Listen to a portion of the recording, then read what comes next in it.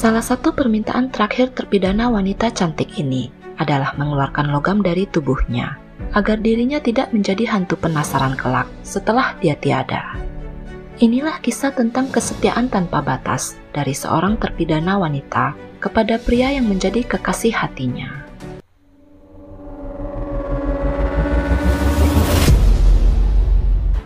It's Jejelicious Story Time. Halo teman-teman, gimana kabar kalian semua? Semoga sehat dan bahagia selalu ya. Di video kali ini, JST akan menceritakan sebuah kasus yang berasal dari Provinsi Yunan, Negara Republik Rakyat Tiongkok. Seperti apakah kasusnya? Yuk kita mulai.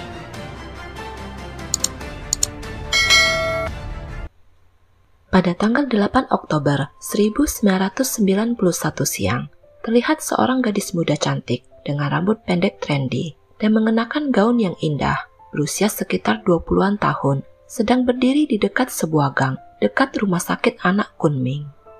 Sambil memegang sebuah tas wanita kecil, dia kelihatan sedikit gelisah, terus-menerus melihat ke sekelilingnya, sepertinya sedang menunggu seseorang. Tidak berapa lama kemudian, seorang pria kurus jangkung dengan topi olahraga putih dan menenteng tas kulit hitam berjalan menghampiri gadis tersebut. Melihat pria itu, sang gadis kelihatan sedikit takut dan ragu-ragu. Dia mundur beberapa langkah dan bersembunyi di balik sebatang pohon. Pria jangkung tersebut dengan santai berjalan ke arahnya, berdiri di sampingnya, dan kemudian menyalakan sebatang rokok. Dia kemudian melihat ke arah gadis tersebut dan bertanya dengan suara sedikit berbisik, "Apakah kamu tahu Ching?" Gadis muda itu hanya menganggukkan kepalanya tanpa mengeluarkan suara apa pun. Pria itu lanjut bertanya, di mana barangnya? Dengan sedikit gugup, Tao Ching menyerahkan tas tangan kecil yang sejak tadi dipegangnya dengan erat kepada pria tersebut yang langsung membukanya, melihat ke dalam sebentar dan meremasnya beberapa kali. Setelah merasa yakin, pria itu tiba-tiba tersenyum dan sebelum Tao Ching menyadari apa yang terjadi, lengannya telah dipegang dan diborgol oleh pria yang ternyata adalah seorang polisi berpakaian preman yang bermarga Wang.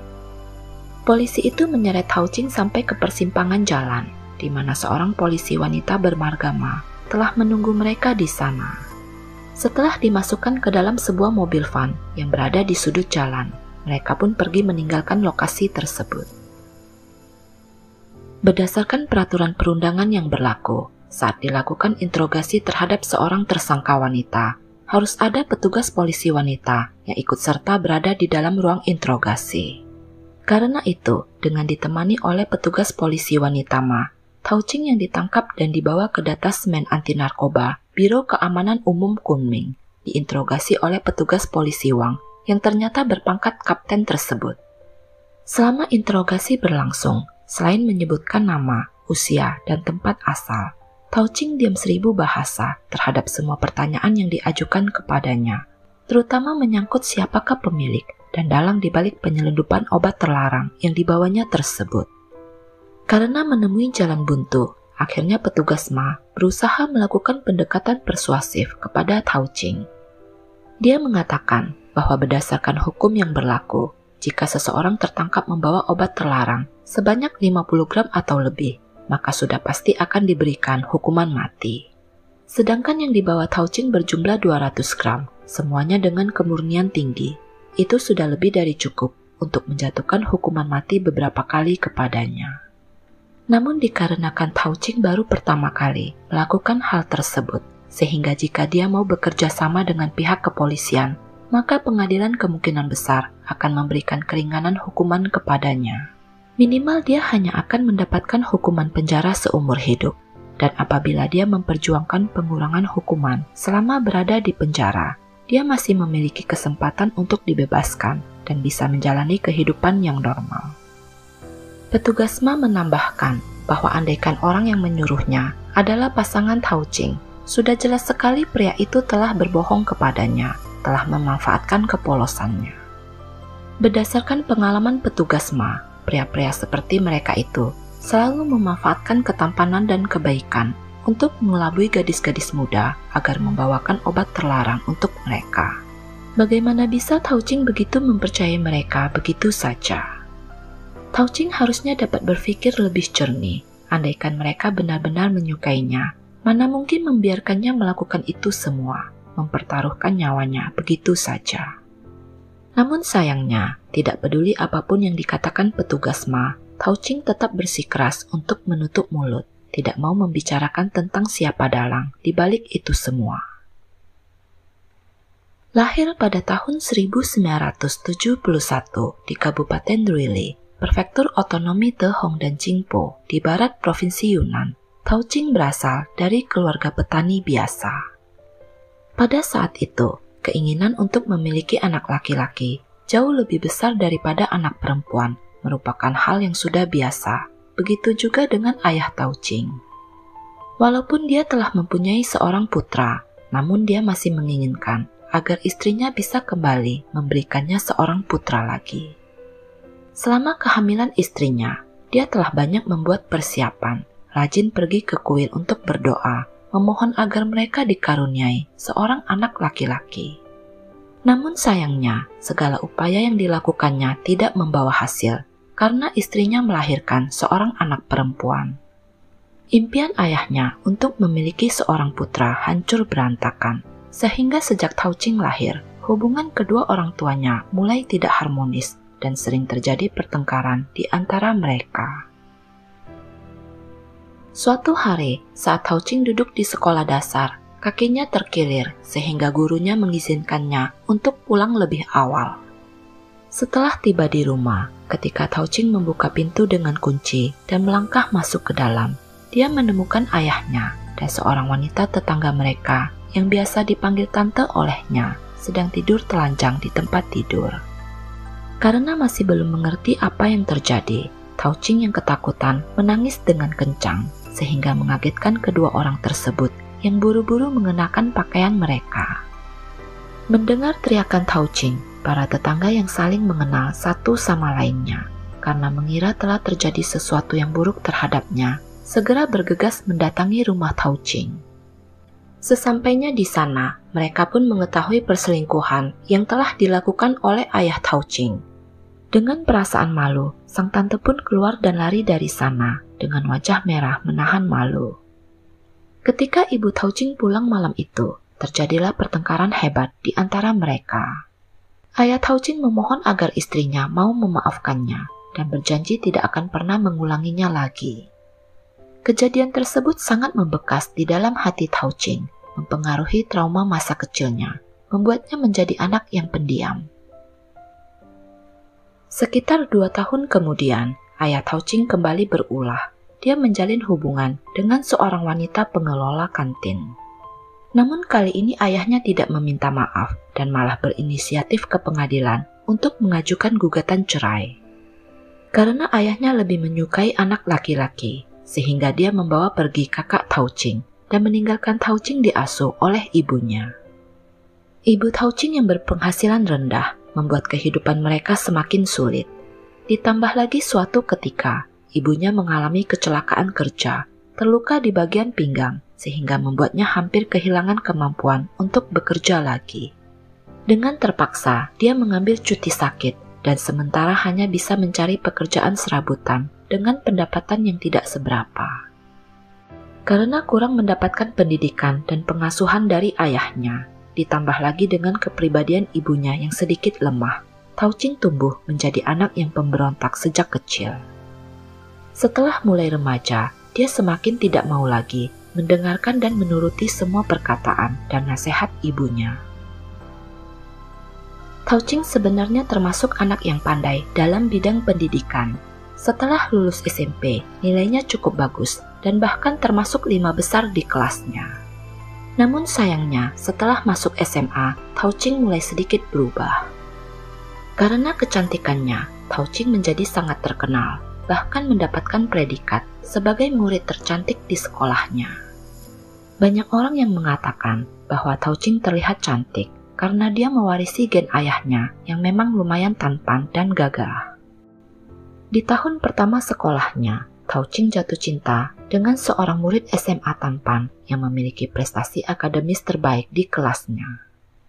Dikarenakan setiap hari hanya sibuk berpacaran saja dan bahkan mulai membolos sekolah, membuat prestasi pendidikan mereka berdua turun drastis. Ibu Tao Ching yang diberitahu oleh gurunya mengenai hal tersebut sangat marah dan menyuruhnya agar giat belajar. Namun sayangnya, semua nasihat itu hanya dianggap angin lalu saja, masuk telinga kanan, keluar telinga kiri. Ketika tiba waktunya ujian masuk perguruan tinggi, pacar Tao Ching hanya masuk ke universitas kelas 3 di provinsi Guangdong, sedangkan Tao Ching malah tidak lulus sama sekali. Yang membuat Tao Ching terpukul, pacarnya yang selalu bersumpah setia kepadanya, tiba-tiba meninggalkannya dan pergi ke kota Guangzhou di provinsi Guangdong tanpa memberikan kabar apa pun kepadanya. Sebulan kemudian, Tao Ching menerima sepucuk surat perpisahan dari pacarnya yang menyalahkan Tao Ching dengan mengatakan bahwa gara-gara cinta monyetnya kepada Tao Ching telah menyebabkan dirinya gagal masuk ke universitas bergengsi. Tao Ching sangat sedih dan kecewa terhadap pacarnya tersebut sehingga memutuskan untuk berhenti belajar dan mencari pekerjaan saja. Tentu saja ibunya tidak setuju dan memintanya untuk mengulang ujian di tahun depan. Namun keputusan Tao Ching telah bulat. Dia mengabaikan nasihat ibunya dan pergi bekerja di sebuah salon rambut di kota Ruili. Dikarenakan dia tidak memiliki keterampilan dalam hal tata rambut, sehingga dia hanya diterima bekerja sebagai gadis pencuci rambut di salon tersebut.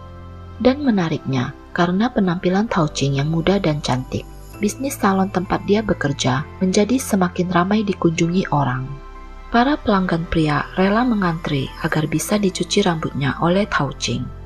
Selama proses mencuci rambut, mereka mencoba menarik perhatian Tao Ching, menggodanya, dan bahkan ada yang berusaha menyentuh tubuhnya. Namun Tao Ching selalu bertindak tegas dan memarahi mereka jika sudah bertindak keterlaluan.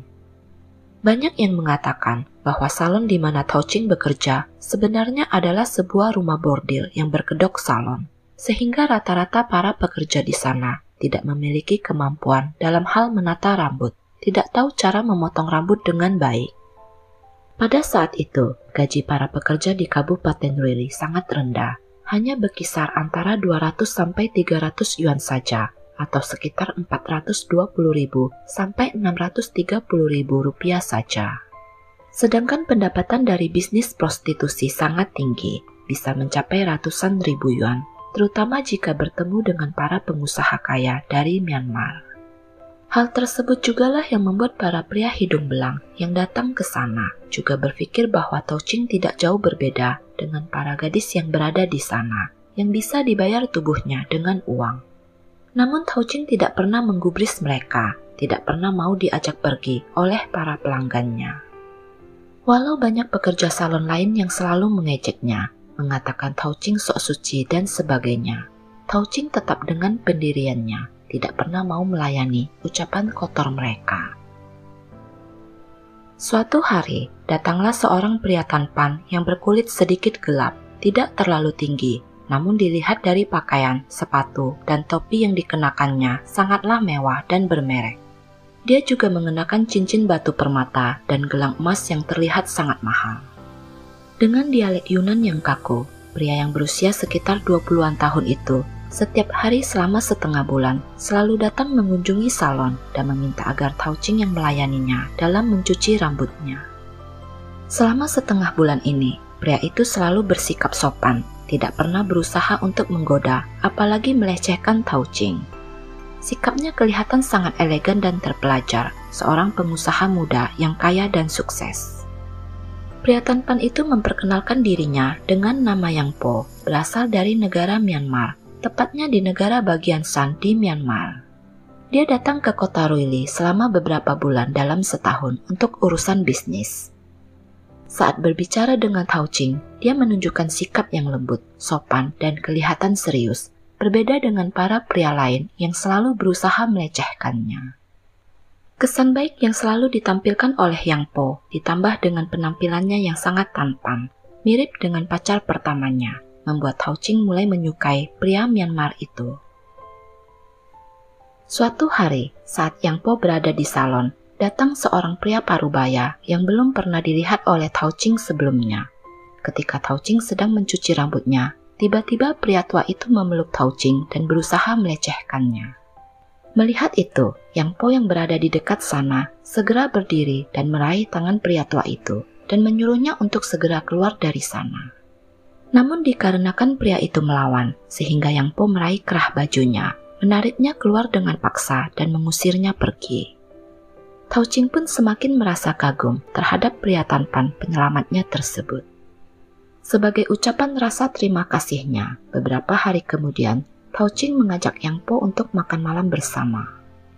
Setelah selesai berkencan, saat mengantar Tao Ching pulang, yang Po mengatakan bahwa dia masih lajang, belum menikah, dan bahkan belum memiliki pacar.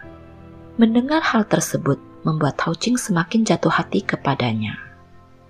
Sejak saat itu, setiap hari Yang Po selalu mampir ke salon dengan membawakan bunga, pakaian, maupun perhiasan untuk Tao Ching. Hal tersebut sampai membuat para gadis pekerja yang berada di sana merasa iri dan cemburu kepada Tao Ching yang telah berhasil memikat seorang pengusaha muda tajir dan tampan lagi.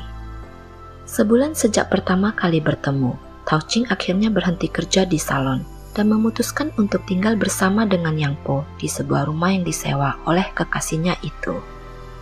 Setelah tinggal bersama, Tao Ching diperlakukan dengan sangat baik sekali. Yang Po sering mengajaknya keluar bermain, makan di restoran setiap hari, mengunjungi tempat-tempat mewah di Kunming, membelikan banyak pakaian dan perhiasan kepada Tao Ching, serta memberikan banyak uang saku kepadanya. Sebagai seorang pengusaha, Yang Po sering berpergian antara Ruili dan Muse di negara bagian Shan, Myanmar. Namun anehnya, dia tidak pernah membawa apa pun setiap kali datang ke Ruili. Yang lebih aneh lagi, meskipun tinggal bersama Tao Ching, namun Yang Po memiliki beberapa tempat tinggal lain di Ruili dan tidak pernah tinggal di tempat yang sama selama tiga malam berturut-turut. Dia juga tidak pernah meninggalkan nomor telepon yang bisa dihubungi kepada Tao Ching, sehingga Tao Ching tidak pernah mengetahui keberadaannya, dan tentu saja tidak mengetahui apa yang dilakukannya selama ini. Setelah tinggal bersama beberapa lama, Tao Ching yang penasaran menanyakan apakah Yang Po memiliki wanita lain di luar sana. Di luar dugaan, yang Po memberikan pengakuan yang mengejutkan kepada Tao Ching. Dia mengatakan bahwa sebenarnya dia berkecimpung di dalam bisnis bubuk putih. Kota Ruili dekat dengan kota Praja Muse di negara bagian Shan, Myanmar, di mana di sana merupakan basis produksi bubuk putih terbesar di dunia pada saat itu. Masyarakat Ruili sudah tidak asing lagi dengan bisnis haram tersebut, di mana sejak reformasi, bubuk putih tersebut telah masuk ke Ruili dan diangkut ke berbagai penjuru negara Tiongkok dan bahkan sampai ke Hong Kong melalui jalur udara dan kereta api Kunming. Selama bisa dibawa masuk ke Tiongkok, maka harganya akan naik berkali-kali lipat dan bahkan kalau bisa sampai ke Hong Kong, harganya bisa mencapai 10 kali lipat. Tidak ada keuntungan sebesar itu dalam bisnis apa pun. Oleh karena itu, meskipun mengetahui akan resiko yang bakalan diterima jika tertangkap, dan bahkan akan mendapatkan hukuman mati jika beratnya lebih dari 50 gram. Tetap saja banyak yang berani mencobanya. Karena jika berhasil lolos dalam 1-2 tahun bekerja, sudah bisa mendapatkan penghasilan ratusan ribu yuan. Setelah mengetahui kenyataannya, Tao Ching sangat sedih sekali dan sempat memutuskan untuk mengakhiri hubungannya dengan Yang Po. Namun sialnya, walaupun sudah dicegah, namun karena kualitas alat kontrasepsi yang dipakai Yang Po, yakni berupa karet pengaman, saat itu kualitasnya tidak terlalu bagus seperti sekarang, sehingga Tao Ching pun hamil secara tidak terduga. Dengan tekad yang kuat, Tao Ching pergi ke rumah sakit untuk menggugurkan kandungannya dan kemudian pulang kembali ke rumah ibunya. Walaupun ibunya mengetahui tentang kehamilannya, dia tidak memarahi Tao Ching dan hanya memberikan nasihat kepadanya. Dia bahkan berusaha membuatkan banyak makanan bergizi untuk menguatkan kembali tubuh Tao Ching. Tao Ching merasa bersedih hati karena ibunya yang masih berada dalam kondisi sakit pinggang tidak dapat bekerja keras lagi, lebih sering terbaring di ranjang. Saat memandangi ibunya yang sedang terbaring di tempat tidur di dalam rumah yang kosong, hampir tidak memiliki banyak perabotan, membuat Tao Ching merasa kasihan dan bersedih hati. Ibunya yang masih berada dalam kondisi sakit pinggang tidak dapat melakukan pekerjaan berat lagi dan lebih sering terbaring di ranjang, kelihatan lebih tua dari usianya yang belum juga mencapai setengah abad. Selama bersama Yang Po, dia hidup penuh dengan kemewahan, meninggalkan ibunya menjalani hidup sendiri dengan segala keterbatasannya. Tao Ching menyalahkan dirinya sendiri yang tidak dapat membalas budi terhadap segala kebaikan ibunya yang telah berusaha keras membesarkan dirinya sendirian. Tao Ching tidak berdaya, jangankan untuk menghidupi ibunya, untuk diri sendiri saja tidak sanggup dilakukannya. Apakah dia harus kembali bekerja di salon? Begitu pikirnya. Namun beberapa hari kemudian, tiba-tiba Yang Po datang menemuinya secara langsung dan mengajaknya untuk kembali bersamanya. Selain ibunya, Yang Po adalah satu-satunya orang yang dicintainya dengan tulus, sehingga permintaannya pun diterima. Tao Ching akhirnya kembali ke rumah Yang Po. Namun kali ini, karena takut akan mengalami kehamilan yang tidak diinginkan lagi, Tao Ching akhirnya pergi ke rumah sakit untuk memasang cincin kontrasepsi IUD atau yang dikenal dengan istilah KB spiral. Dikarenakan Tao Ching telah mengetahui tentang apa yang dilakukan oleh Yang Po selama ini, sehingga setelah Tao Ching kembali ke rumah, Yang Po berterus terang meminta bantuan langsung kepada Tao Ching untuk membantunya menyelundupkan bubuk putih dari Myanmar menuju Kunming. Yang Po membujuknya untuk bersama-sama melakukannya, dan nanti setelah satu atau dua tahun ke depan, setelah mereka berdua berhasil mengumpulkan uang, Yang Po akan mengajaknya pindah ke kota Yangon, membeli villa dan mobil mewah, membuka toko dan hidup sejahtera di sana. Yang Po mengatakan bahwa pos pemeriksaan sangat ketat terhadap para pria. Jika terdapat kecurigaan sedikit, mereka pasti akan digeledah. Namun pengawasan terhadap wanita biasanya relatif lebih longgar. Lagi pula wanita memiliki tempat alami untuk menyimpannya yaitu di dalam Miss V. Ada begitu banyak orang yang keluar masuk perbatasan Tiongkok Myanmar setiap hari, sehingga tidak mungkin untuk menggeledah mereka satu persatu, terutama terhadap wanita, pasti akan lebih mudah melewatinya. Andai pun dilakukan pemeriksaan normal, bagian wanita tersebut pasti tidak akan disentuh. Andai pun tersentuh, juga tidak akan ketahuan sama sekali. Yang Po yang licik mengetahui bahwa Tao Ching bukan tipe gadis yang sangat peduli kepada uang. Namun dia tahu bahwa ibu Tao Ching sedang sakit, sehingga pasti membutuhkan biaya hidup yang besar. Hal tersebut dimanfaatkan olehnya dengan mengatakan bahwa setiap kali Tao Ching melakukan kiriman, dia akan memberikan 2000 yuan atau sekitar 4,2 juta rupiah kepada ibu Tao Ching. Dan andaikan Tao Ching tertangkap, Yang Po berjanji akan mengirimkan 10.000 yuan atau sekitar 210 juta rupiah setiap tahun kepada ibunya sampai dia meninggal dunia kelak. Tao Ching yang pada awalnya ragu-ragu, akhirnya terbujuk rayuan dan janji manisnya Yang Po begitu saja. Untuk lebih meyakinkan Tao Ching lagi, Yang Po membuka rekening palsu atas nama Tao Ching dan kemudian menyetor uang sejumlah 2000 yuan ke dalam rekening tersebut dan memberikannya kepada Tao Ching. Tao Ching yang tidak mengetahui bahwa dia telah dibohongi, semakin yakin akan semua perkataan Yang Po. Mereka kemudian berangkat dari Ruili menuju Muse, lalu naik bus jarak jauh selama beberapa jam menuju ke kota kecil di negara bagian Shan. Sambil menunggu barang dikirim ke tempat mereka, Tao Ching diajak berkeliling kota, menikmati makanan enak, dan pergi berwisata di sekitar kota. Beberapa hari kemudian, seorang wanita mendatangi mereka dan menyerahkan satu paket barang seberat satu kilogram kepada Yang Po. Setelah menerima barang tersebut, Yang Po mengambil 200 gram, membungkusnya dengan kondom dan meminta Tao Ching untuk memasukkannya ke dalam Miss V-nya. Yang Po memberikan selembar tiket bus jurusan Kunming dan sebuah tas tangan kecil wanita kepada Tao Ching dan menyuruhnya untuk mengeluarkannya setelah tiba di Kunming dan memasukkannya ke dalam tas tersebut. Pada pukul 12 siang keesokan harinya, Tao Ching harus pergi ke gang kecil yang berada di dekat rumah sakit anak Kunming, di mana di sana nanti akan datang seorang pria bertopi olahraga putih yang membawa sebuah tas kulit hitam untuk mengambil barang tersebut. Kemudian Tao Ching pulang ke rumah mereka di Ruili, dan nanti Yang Po akan datang menemuinya di sana. Setelah menerangkan semua rencananya, Yang Po pun pergi menghilang dari sana. Tao Ching sangat gugup saat melewati perbatasan, namun dikarenakan dia tidak membawa barang apa pun, sehingga polisi perbatasan tidak mencurigainya sama sekali. Setelah menghabiskan malam di sebuah penginapan kecil, Tao Ching ditangkap polisi yang menyamar saat mengantarkan barang tersebut pada keesokan harinya. Dikarenakan Yang Po dan Tao Ching sepakat untuk bertemu di Ruili, sehingga pihak kepolisian yakin akan bisa menangkapnya. Yang Po adalah dalang utama dalam kasus ini, sedangkan Tao Ching hanyalah suruhan saja. Andai Tao Ching mau mengatakan di mana Yang Po berada, maka pengadilan akan memberikan hukuman yang lebih ringan kepadanya minimal dia tidak akan mendapatkan hukuman mati.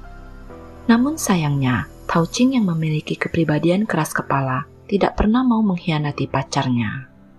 Mungkin itu bukan hanya masalah emosional saja, tapi juga karena alasan finansial. Walaupun andai dia diberikan pengampunan, namun dia pasti akan dipenjara, minimal 15-20 tahun. Sedangkan ibunya yang sakit-sakitan tidak memiliki kerabat yang dapat diandalkan untuk membantu dan menjaganya. Ayah dan kakaknya juga tidak pernah berhubungan lagi dengan mereka selama bertahun-tahun belakangan ini. Satu-satunya orang yang bisa membantunya adalah Yang Po yang berjanji kepadanya untuk memberikan 10 ribu yuan kepada ibunya andai dia tertangkap. Dia yakin pacarnya tersebut pasti akan menepati janji untuk membantu ibunya. Oleh karena itu, tidak peduli seberapa besar usaha pihak kepolisian untuk membujuknya, dia tetap tidak bergeming, menolak mengungkapkan petunjuk apa pun tentang Yang Po. Akhirnya berdasarkan keputusan pengadilan tingkat pertama kota Kunming, Tao Ching dinyatakan bersalah membawa obat-obatan terlarang dalam jumlah besar, tidak mau bekerja sama dengan pemerintah. Sehingga dia dijatuhi hukuman mati sesuai dengan hukum yang berlaku dan dicabut hak politiknya seumur hidup. Keputusan tersebut diperkuat oleh pengadilan tingkat kedua, sehingga ditetapkanlah waktu pelaksanaannya pada tanggal 26 Oktober 1991. Sehari sebelum eksekusi dilaksanakan, pada tanggal 25 Oktober 1991, Tao Ching mengajukan dua permintaan terakhirnya. Menurut adat dan kepercayaan di prefektur Tehong, jika seseorang meninggal dan ada benda logam di tubuhnya, maka dia akan menjadi hantu penasaran. Oleh karena itu, permintaan pertama Tao Ching adalah dia ingin mengeluarkan ayudi logam dari Miss V-nya sebelum dieksekusi. Dan permintaan keduanya adalah dia ingin bertemu dengan ibunya untuk yang terakhir kalinya. Permintaan pertama Tao Ching disetujui. Seorang dokter dari Departemen Ginekologi Rumah Sakit Tehong dikirim ke rumah sakit di penjara untuk mengeluarkan IUD dari tubuh Tao Ching. Keesokan harinya, pada tanggal 26 Oktober 1991, ketika Tao Ching diantar menuju mobil yang akan membawanya ke tempat eksekusi dilaksanakan. Seorang petugas polisi wanita membawa ibu Tao Ching, kakaknya, dan bahkan ayahnya yang sudah 10 tahun lebih tidak bertemu dengannya, menunggu di depan mobil tersebut aparat polisi yang melakukan pengawalan bersimpati kepadanya dan membiarkan mereka bertemu sebentar. Terlihat kakaknya yang berbadan besar dengan tinggi sekitar 1,8 meter menangis terseduh-seduh sambil berteriak kepada Tao Ching agar dia mau memberitahukan kepada mereka siapakah dalang di balik itu semua agar dia bisa mendapatkan keringanan hukuman. Namun Tao Ching tetap bersikeras tidak mau memberitahukannya dan mengatakan kepada kakaknya bahwa andai dia benar-benar menyayangi Tao Ching, maka dia harus menjaga baik-baik ibu mereka setelah dia meninggal. Sementara itu, ibu Tao Ching yang berdiri di belakang hanya menangis sesenggukan tanpa mampu mengeluarkan sepatah kata pun. Mereka hanya saling bertatapan selama beberapa menit dan setelah itu terdengar polisi pengawal menyuruhnya untuk mulai berjalan maju menaiki mobil. Tao Ching hanya bisa menunduk dan berjalan pelan ke depan namun saat melewati ibunya, tiba-tiba ibunya mengulurkan tangan dan memeluk Tao Ching yang sejak tadi belum pernah menitikan air mata, tiba-tiba berteriak sekuat tenaga, meneriakkan lima patah kata. Ching Ai Te Mama, yang berarti ibuku tersayang. Ibu dan putrinya pun menangis dengan sedih dan saling berpelukan untuk yang terakhir kalinya.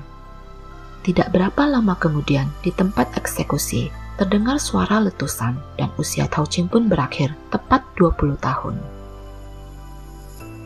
Yang Po adalah seorang pria yang sangat licik. dia menggunakan cinta sebagai kedok untuk menjerat dan menipu Tao Ching agar mengambil resiko dan melakukan kejahatan demi dia.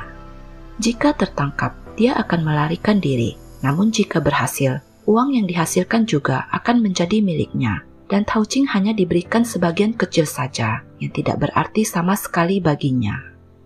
Paket yang diberikan kepada Yang Po berjumlah 1 kilogram itu berarti kemungkinan besar dia memiliki kekasih lainnya juga sama seperti Tao Ching yang dimanfaatkan untuk mengantarkan sisa 800 gram melewati perbatasan. Sejak awal pertemuan mereka, Yang Po telah merencanakan semuanya. Bagaimana bisa seorang pria parubaya yang tidak dikenal tiba-tiba datang ke salon mencoba melecehkan Tao Ching? Dan kemudian tiba-tiba Yang Po berubah menjadi pahlawan kesiangan pembela kebenaran yang keluar menolong kekasih hatinya. Bisa saja itu hanyalah sebuah sandiwara belaka untuk membuat Tao Ching semakin terkesan kepadanya. Namun dikarenakan nama asli dan identitas Yang Po tidak diketahui, serta bukan warga negara Tiongkok, sehingga sangat sulit untuk menangkapnya. Yang lebih kasihan lagi, setelah Tao Ching tiada, uang yang dijanjikan oleh Yang Po untuk Ibu Tao Ching tidak pernah terpenuhi sama sekali. Semua hanya omong kosong belaka demi untuk mengelabui Tao Ching yang polos dan tulus mencintainya. Terlebih lagi, Ibu Tao Ching yang sedih karena kehilangan putrinya akhirnya jatuh sakit dan meninggal dunia beberapa tahun kemudian. Saat dalam penjara, Tao Ching sempat menulis sebuah lirik lagu. Demi kamu aku meneteskan air mata, dan demi kamu hatiku juga hancur. Demi kamu aku mengisi masa remajaku yang semu. Demi kamu studiku hancur.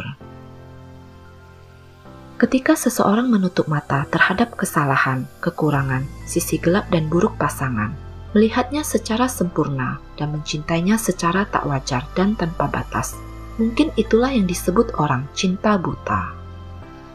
Demikianlah cerita tentang Tao Ching yang sampai akhir hayatnya tetap diam seribu bahasa dan bahkan rela mengorbankan dirinya demi sang pujaan hati. Bagaimana menurut pendapat teman-teman JST tentang kasus ini?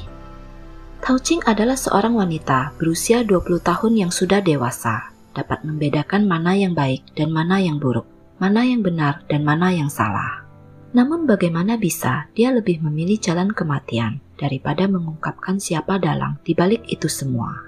Ataukah dia telah mendapatkan ancaman keselamatan terhadap dirinya maupun seluruh keluarganya? Pelajaran apakah yang kira-kira bisa didapatkan dari kasus kita kali ini? Jangan lupa tulis di kolom komentar ya. Mohon maaf jika ada kata-kata yang salah dan tidak berkenan. Apabila suka dengan cerita ini, tolong bantu di like, share, dan subscribe ya. Oh ya, jangan lupa juga aktifkan lonceng notifikasi agar teman-teman bisa mendapatkan cerita terbaru dari JST. Akhir kata, stay safe, stay healthy, stay at JST. See you on next Jijelicious Stories. Bye-bye.